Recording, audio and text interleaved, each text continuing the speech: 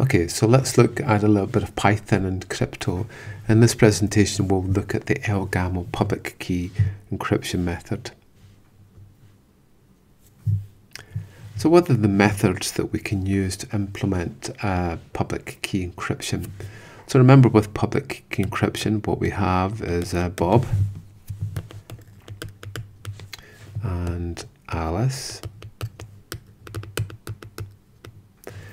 and Bob has a public key and a private key and the same for Alice.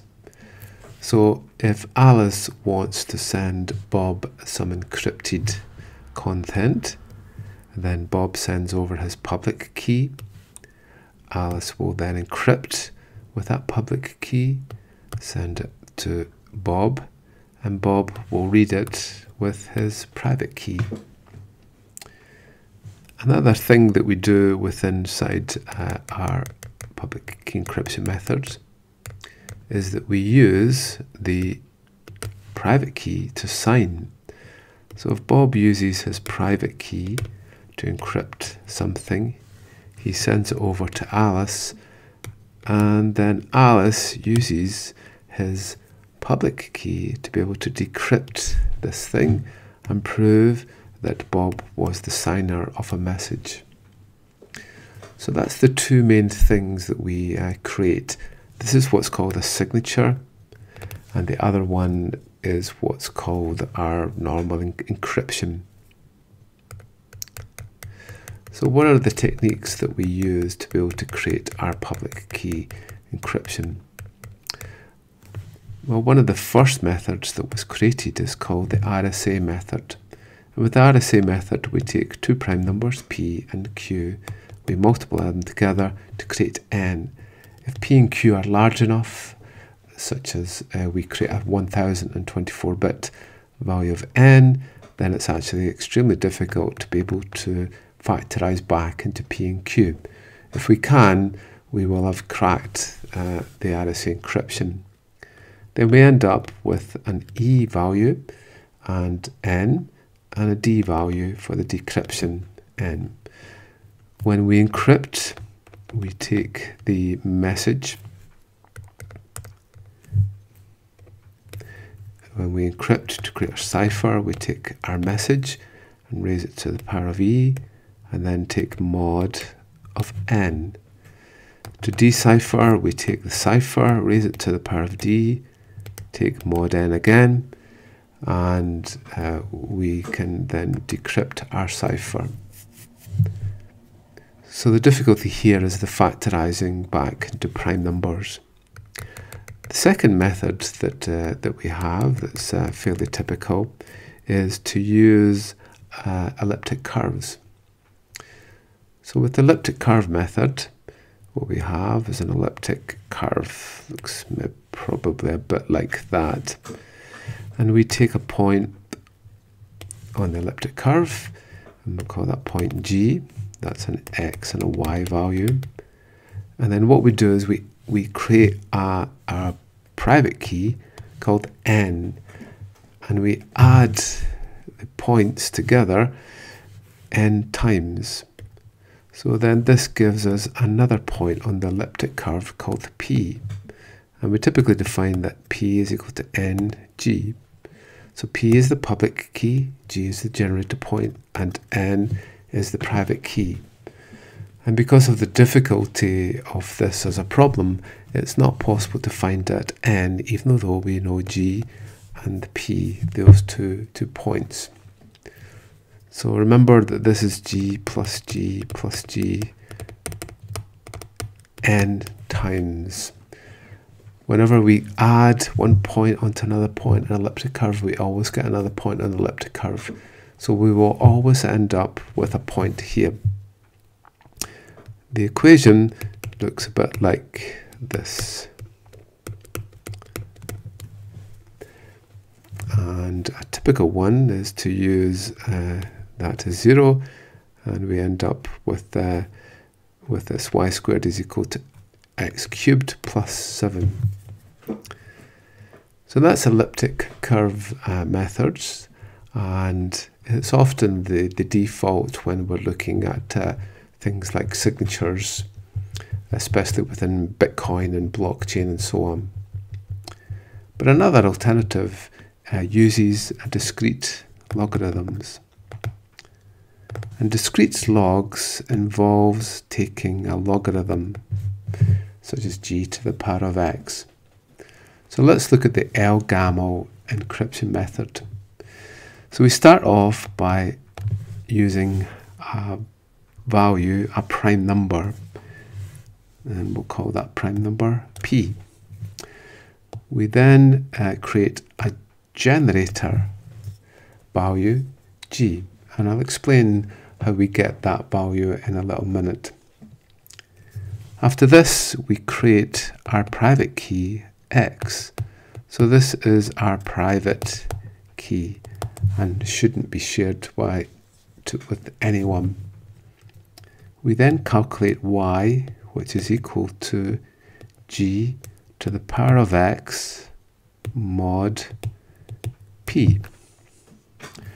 Our private, our public key then becomes p, y, and g.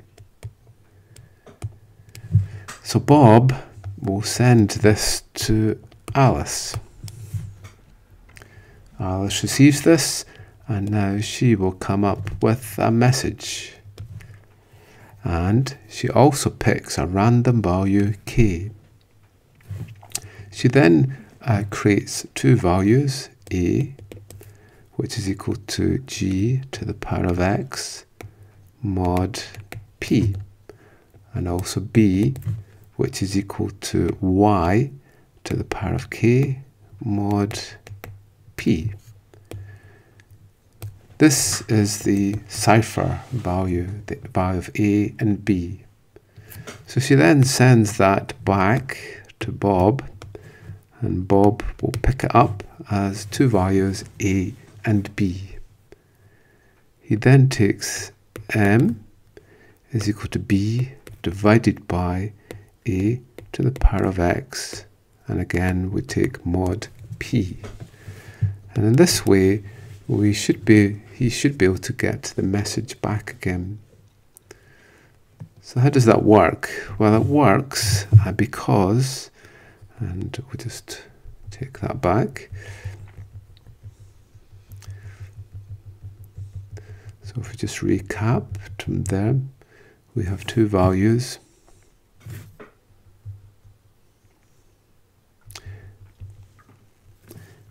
Of A is equal to G to the power of K mod P and B is equal to Y to the power of K mod P.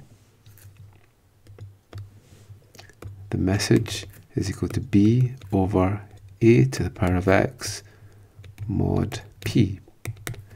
So that's equal to Y to the power of K because of this here, divided by a, which is g to the power of x, to the power g, g to the, the power of k to the power of x mod p. Then if we remember, y is actually equal to g to the power of x to the power of k and g to the power of k to the power of x is this part here. And because of the magic of logarithms, we end up with g to the power of x and then g to the power of x. And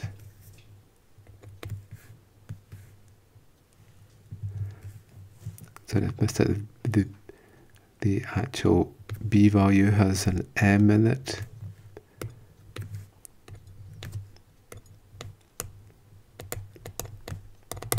these two cancel out so we end up with m okay so in this way the two values here we were uh, able to then take uh, the b uh, m over a to the power of x and end up with the value of the message. Okay, so this is what we end up with.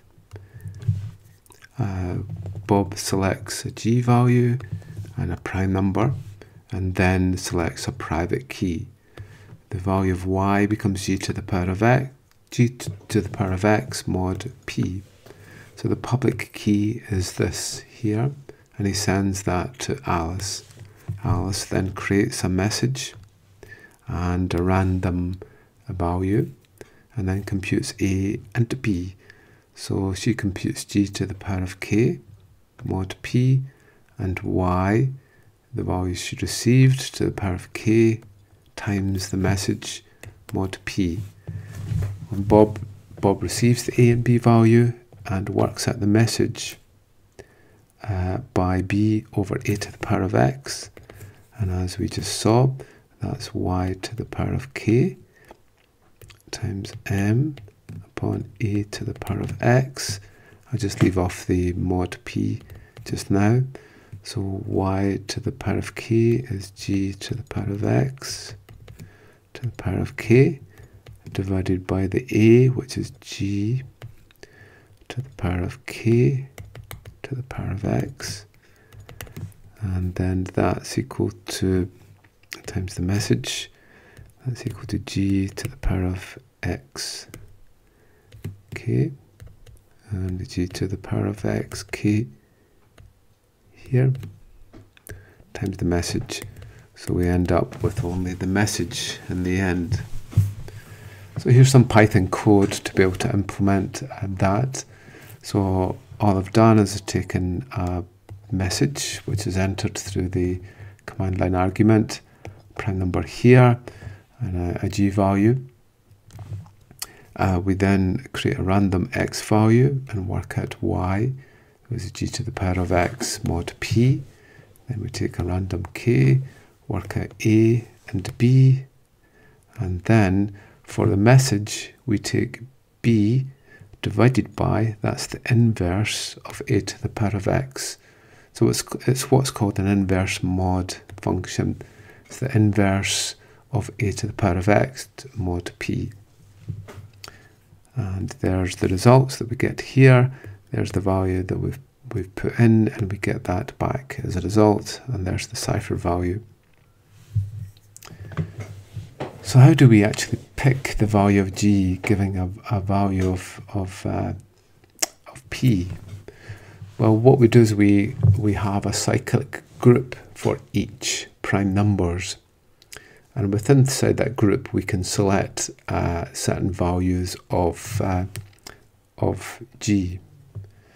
So it's all to do with if we take g to the power of x mod p what we want is for every value of x up to p minus 1 to give a unique output. It's called a cyclic group. It goes around the group and then it will come back again. So if we try these values here and we take a prime number of 7 and we try a g to be 2, we can see here that we don't actually have a cyclic group and that repeats uh, very quickly. So the value of 2 cannot be used as a g value for 7. But if we see here, then this is a cyclic group because we go up and we select all the values here and then we repeat again. So 3 is a possible g value for 7. 4 isn't. Uh, 5 is.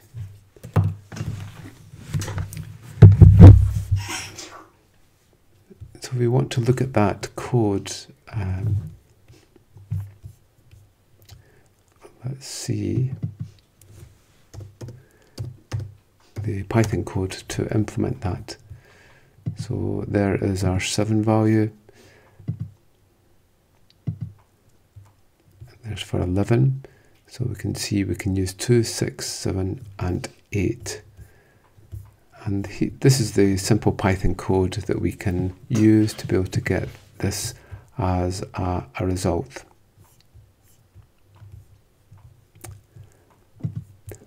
Okay, so the code for, for our Python implementation is, is here.